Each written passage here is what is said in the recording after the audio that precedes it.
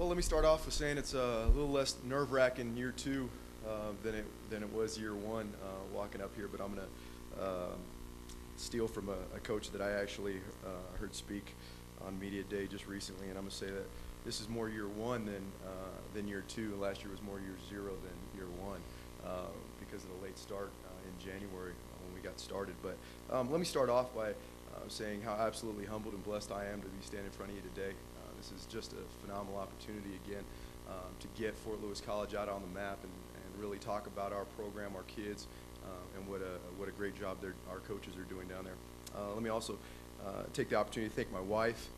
She's at home right now um, with our, our newborn, uh, four weeks old. So uh, she's uh, actually putting in all the real hard work right now at home um, with the new one. Um, also want to thank our president, Dene Kay Thomas. And last year I stood, stood up in front of everybody and I said, hey, well, I hadn't even had my first meeting with the with the new president, my new boss, and that was kind of interesting because the old the old president had given me the job, and um, and since I've she's been there the last 12 months, she's been outstanding, and uh, she really has been a supporter. She's a true fan. Uh, you'll hear, hear see her yelling, and, and she's about yay tall, and yay big, and uh, see her at the ball games yelling and screaming, uh, just like one of the fans, just like any of the parents out there. So it's outstanding to have um, her support. And to former uh, athletic director Kelly Higgins, uh, thank you very much for the opportunity. Uh, we're really excited about uh, what we're bringing out here. Thank you again to all the friends, family, and alumni, uh, and fans of our program. They've been outstanding this first year. It's I know they've kind of gone through their turbulent times with the program, but with all their love, support, and and, and kind words, this has been a great opportunity for us. Obviously, we look down there. We've got picked eighth in the conference, so it's kind of interesting to follow Colorado School of Mines and uh, and Pueblo up here.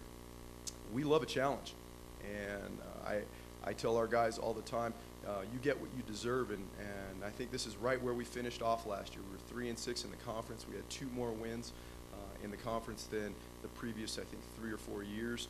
Uh, but that's not good enough, and our expectations are extremely high. And I think everybody knows that when we played uh, when we played last year, we were up in eight out of our nine conference games uh, to start the game, but we just really didn't finish, and that's what we're really concentrating on now. Uh, if our kids want more respect, they have to they have to earn it.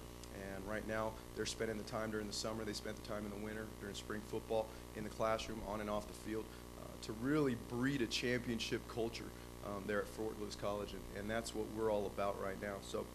Um, let me see. Our expectations are high. Um, our summer commitment uh, program has been outstanding, and it'll continue to grow over the next uh, few years. Uh, every year that we're here, we just keep on looking to be bigger and better. I know John just spoke about um, wanting to finish um, number one, and that's our goal as well. We want to make sure that we represent the RMAC um, in a positive way on and off the field, and make sure that we bring the level of play up in this conference overall.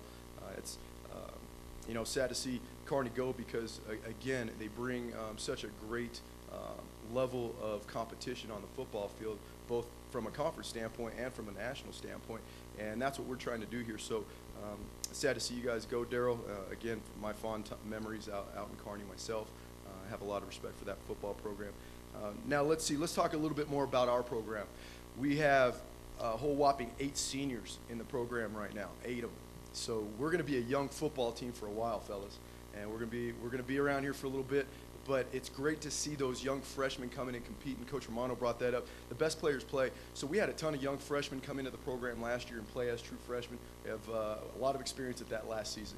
We didn't know who those faces would be, um, but we return roughly about seven starters on offense and and eight on defense, but I don't know if they're actually going to be the starters again this year because we're bringing in a whole crop load of new freshmen, great talent that I think are going to walk on campus day one and, and uh, battle for starting positions. That's the way we recruited them with the opportunity to play sooner. Um, and if, if they're the better football players, then there's no doubt that they're going to get on the football field. And it's going to happen like that. We're going to be a young football team for the next two or three years because every year we're going to bring in bigger and better freshmen, and they're going to keep on beating out the guys that are currently in the program, and our guys know that. Uh, our guys know that that's what they're up against. And sooner or later, those sophomores and juniors will get the idea. They'll get the picture. Hey, you know what? I, this is what I got to do to hold on to my starting spot. And, and every uh, sooner or later, we'll have an older team. But until that happens, we're going to have an extremely young team for probably the next couple years at least. Uh, I did bring two gentlemen with me from the offensive side of the football. Uh, Tim Jenkins, our returning quarterback, he was a second team all conference player. And for a team uh, where we went three and six in the conference last year, to come in second uh, at, in the voting for all conference between behind Clay Garcia, who was obviously a Harlan Hill finalist, um, is quite an accomplishment for a true sophomore. So uh, Tim Jenkins uh, really embodies what we're looking for uh, from a student athlete at Fort Lewis College, from being competitive on and off the field, a great role model um, in the community and on the team. But he knows full well that we've brought in a couple young freshman quarterbacks that he's going to have to battle his rear end off to hold on to that starting job. He's been a starting quarterback for the last two years. He has all conference accolades. He split um, co-offensive player of the year uh, his freshman season uh, with um, with your guy over there down at, at Adams, Marty. And but that you know what that doesn't mean that he is locked into that starting position. We were three and six last year in the conference. There is no job um, that is a lock. Esteban Lucero is a right guard for us, number 73. He's uh, our actually our only senior at offensive line. And he's going to be locking it down at right guard. He's probably our most consistent offensive lineman coming out of spring football. Really looking forward to seeing how our offensive line really projects. We brought in um, a junior college transfer two, uh, but mostly just freshmen at that at that offensive line position. So uh, we'll see how we grow, how quickly we can put that group together. We do have a couple returning starters from that group, but again, it's going to be very challenging to hold off some of these young kids because uh, they do come in and they they definitely pass the eyeball test. But we'll see how fast they they can actually put the schemes together on the field. Let's see on defense. Um, and, and, I'll, and I'll touch on a couple other positions here in a second, but on defense, uh, we weren't really good. I'll just be real honest. We, we gave up a whole le- heck of a lot of points in the second half of ball games last year, and we gave up a lot of yards. That wasn't a big secret. And you could just open up uh, any record book and you'll be able to tell that from 2010 season. But one thing that we were was very young. We were very young. We had three starting freshmen in the secondary at one point in time, uh, starting sophomore. Uh, we didn't have anybody uh, that at our defensive line um, that uh, was an upperclassman. So we returned all four guys at defensive line. But then through recruiting, we also brought in a whole new stable of young guys at the defensive line. So uh, those four returners at, at, defensive line, they might all be out of a job here in about a month. So uh, we'll, it'll be fun to see. At least I know that we'll have um, some depth at that position. Uh, at linebacker, uh, we graduated one, uh, one senior and we'll be returning. And I, they're a fun group. Our linebacking corps is a real fun group. Uh, they weren't any good last year because they were all young kids running around out there. But they're going to be making some leaps and strides into this season. Uh, I really like them a lot because of all the hard work they put in. They really took some lumps as a freshman group last year, and we either redshirted them or they played as true freshmen um, last year. So they'll either be true sophomores or redshirt freshmen coming into the season. And we're excited about them. They run around. They play with the energy and the enthusiasm that we're really looking for um, over at the fort. In the secondary, uh, Jamal Campbell um, would be a young man that I'd keep an eye on. He's a true sophomore. He actually uh, won the starting position, was one of our true starting freshmen in the secondary last year. Uh, Tim uh, Mahavich uh, is a uh, excuse me was a sophomore last year in our secondary. But really, the one we kind of call him the I call him the grandfather out there. He's only a junior. Is Phil Odell. He was the fourth leading tackler in the conference last year because we didn't have a lot of success on defense, I understand he didn't get a lot of accolades last year, but really for us, he's uh, from a work ethic standpoint, he's definitely a model uh, of what we would like our defensive players to turn out to be. Again, very productive, still a young guy, was a sophomore last year, will be a junior this year, um, but uh, definitely what we're looking for in the future here. Now, uh, as far as uh, the rest of our offense goes, we have uh, a little bit of a change here. I know Fort Lewis College has been known for the spread offense and four and five wides and slinging it 90% of the time and having maybe one or two running plays, and that's about it. We're going to change, and that's changing through recruiting. So um, I think that will actually segue myself into talking about special teams because we struggled on special teams a lot last year due to a lot of lack of depth. Uh, it's really tough to ask, uh, and all you guys know what I'm talking about, having all those little skilled receivers run around trying to make tackles on kickoff cover uh, and punt coverage is a, is a little tough. So this year, recruiting fullbacks and tight ends into our program, really diversifying our offense, uh, making it multiple, uh, will add to not only our offensive production, I'm hoping, uh, but also to our special team production as well. So that's kind of what we're looking at. Frank Atherton, our punter, was a real bright spot on special teams last year. Uh, we have, uh, I think, probably the best punters in the country in our conference because I, if I'm not mistaken, Frank was uh, fourth or fifth in the conference in punting, but he, he was in the top 20 in the country in punting all at the same time. So we had some pretty special punters. I don't think he even sniffed off all conference because uh, we are the punters in our conference are outstanding. So, uh, but he was a real bright spot. Uh, good funny story about Frank. He, he hadn't punted in a real football game probably in about three or four years, and um, he was about as nervous as I was walking into Montana State game one last year. And we walked out of the locker room. True story. We walking out of the locker room, and and, and I, hey Frank, how you doing? And, and he just, I'm doing fine. You know, I, I don't even think he said that. I think he just kind of nodded his head. And the reason why he, I don't think he spoke is because he was biting onto his uh, mouthpiece so tight. I'm kidding you not. It's about an hour and a half before kickoff and he's got his mouthpiece in his mouth. He's going through stretching lines. He's got his mouthpiece in his mouth. He's going through warm-ups, everything else. He's got his mouthpiece in his mouth. I don't think he, the son of a gun took out his mouthpiece for about seven hours that day because he was so nervous. Hadn't kicked the football. Did a great job. Averaged over 40 that uh, that game and uh, had a real productive season. But we got some great kids. Really excited, and um, that's where we're at right now.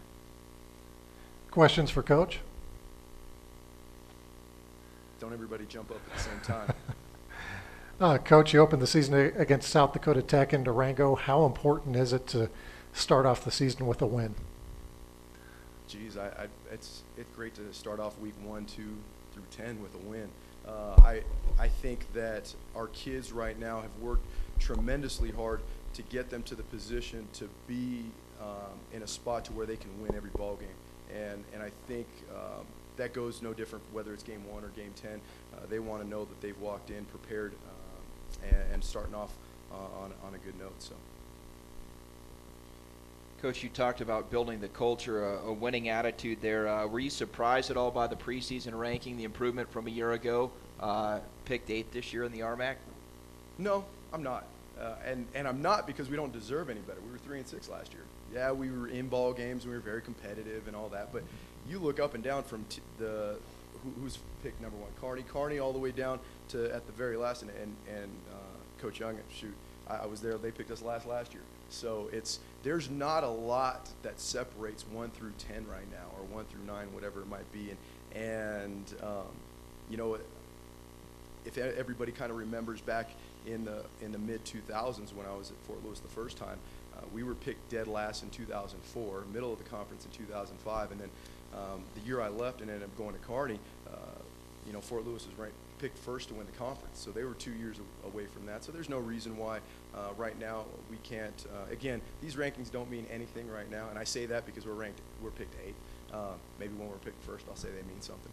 But uh, but definitely right now, it only matters how we finish, and and all our guys know that. Uh, they're not expecting anything different. Coach, Air Force opened up football practice today. Obviously, Division One has more practice time than Division Two, but we're seeing the Ivy League going to uh, I think two days with with pads and Mhm. and no two a days. Do you see that as a trend in college football? I think the protecting the student athlete is the trend, and so whatever's in their best interest um, is is more the direction that I see us going in the future. Um, whether it's the helmet-to-helmet contact, protecting the kids against concussions. Um, you know, we, we sat through the whole uh, hour and a half with the officials before we got started today about uh, what's a, a legal and illegal crack block and blocking below the waist. And again, it's all to pr- protect the kids, and, and I'm all for it if it's in the good culture and, and, nature of the, of the game.